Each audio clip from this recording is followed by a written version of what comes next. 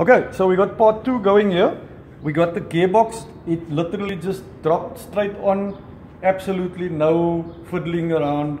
Um, if you get everything lined up and everything torqued down, this box literally just drops on like it was like it was made for this engine. Need two guys. Um, all right, I didn't put all the bolts in, but there's some bolts in. It's just to hold it there for demonstration purpose.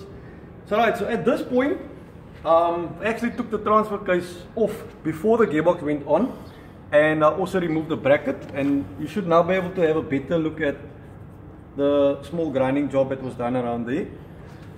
I don't know if they can see properly there. Um, okay, so now what we're gonna do is this bracket, this bracket here. Um, it's time for this bracket to go on. Okay, so you've drilled that out to 14.5 and you've tapped the 16 by 1.5 thread in there.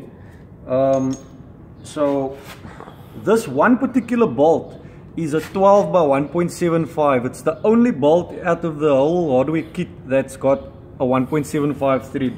So just be careful not to try and force this into into the plate or anywhere else. It's only this one bolt that's a 1.75 thread.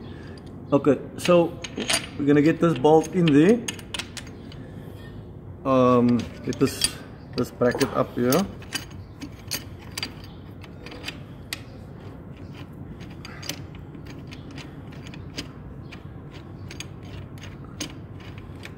Okay, just just get it by just nip it up slightly and then the 16 mil bolt and the washer goes in there um, and then we want to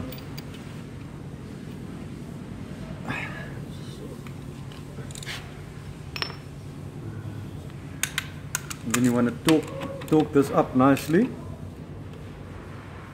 and obviously torque that one up nicely as well. You're probably going to have to cut the Allen key down quite short to get it in there.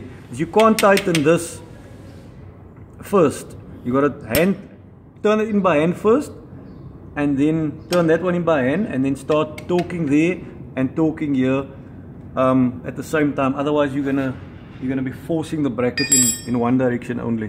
Anyway, so that's the bracket. Um, while we're here, you will notice this little bit of material that needed to be removed here um, behind this ear keep that as minimal as possible. We don't want to take strength away from this ear because that's now supporting uh, um, that's a supporting uh, um, uh, um, supporting point. So um, as little as possible on this area over here. What will help is you look at the transfer case um, on two on two points. I removed a little bit of material um, over here. I just took, um, there was some casting blobs over here which I just grinded off. It was probably about two, two or three millimeters I removed off there. Um, that also helps you not to take too much off on the block. Um, so yeah, that, that area over there, um, which I removed. And then there was another spot, uh, where was it now? Um, was the other spot now? Oh, this um, this little blob over here, uh, also a little casting blob. It actually stands stands quite high. I removed all that off completely, all the way down to that web over there. Um, that also helps you not to take too much off the block. Um, so that little area there, this little area here, and then I think there was just one small little blob over here as well and that's that's all you need to do on a transfer case and that that will actually help you to to get this thing in there um, more easily and let you not not take too much off on the block. Um, so before we got to put the transfer case back just to show you again what it looks like. Now just remember this I actually went overboard here. You don't you don't you're not going to end up taking off so much. Um, I didn't have a transfer bracket at the time when I when I did the prep work here. Um, but you should now easily be able to take off just enough. So, but yeah, on the extreme side, that's what it will look like. um, absolutely doesn't impact the strength of the block at all because that main web still runs all the way through behind there. So there's no, um, it doesn't affect the strength of the block at all. Um, we're reusing this exact same points here. We're not grinding on there or anything. That little blob that was taken away. And then this area that you've removed over here, um, you're not going to end up taking off so much as well. I, again, I didn't have the bracket to, to start off with. So I just basically what I did was I followed the curve of, of the main bracket, of the main adapter plate. But you'll find that especially over here, this part over here, you don't have to take so much off. Um, what's important to note is that it's not just a straight cut down. You're going to have to chamfer that back edge there. You're going to have to chamfer that backwards a little bit as well over there. But very important, once you got the transfer box in, make 100% sure you've got an air gap, especially around here. It tends to get very close to the transfer case, just, just behind here. You wanna, I actually took a hacksaw blade and I, and I started to run the hacksaw blade in there, and that gave me about one and a half mil gap. Um, and then once you got that um, uh, sorted out, so now it's basically time to to get the transfer case in. Okay. So with a bit of luck, um, this will pop in, although it doesn't, it doesn't always like to pop in immediately. Uh, let's just see we're gonna get lucky this time.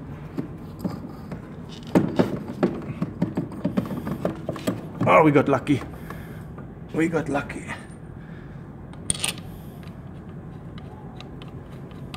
Okay.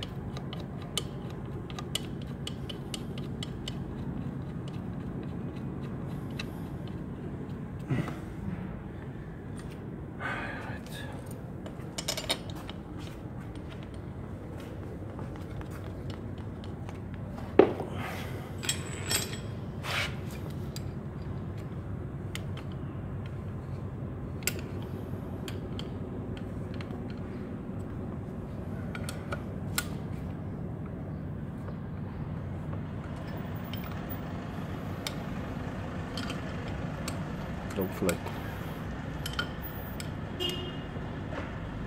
Shit.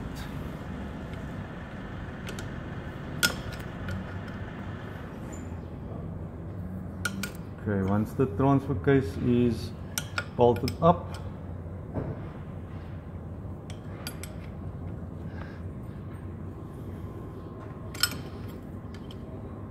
um,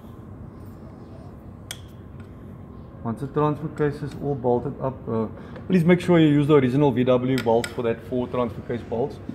And then we'll basically move on to fitting the bracket. So with the bracket, what you want to do is slip the bracket in underneath.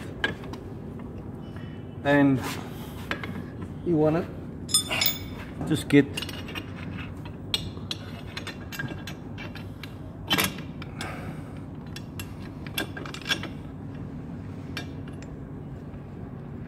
get some bolts going there.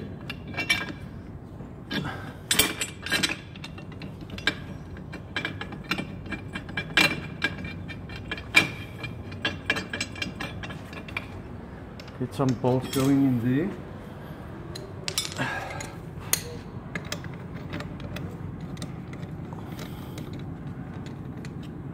Okay, so once you got the four bolts into the transfer case, actually don't don't tighten them down because you're gonna have to fiddle around here trying to get the the tricky ones is the two the two that goes that goes into the block. So okay so you want to get the two in the block. First um, well try and get those two in first they, they, they, you're gonna struggle to get to them. So get those two in get the four into the bottom. It goes onto the onto the transfer case. And then Bob's your uncle. There we have it. DQ500, 4G63. Um, let me just um, show you over here. So now, between the transfer case and the bracket there, that's where you want to be able to just slide um, like a one millimeter piece of plastic or a hacksaw blade or something behind it, just to make 100% sure that there's nothing touching there. And um, Same with any place that come where the transfer case is getting close to the block. Just make sure there's clearance. Take a light, take a hacksaw blade, stick it in there, and make sure everything's clear. And then there we go. That's that's the next um, new technology for for our old classic Evos.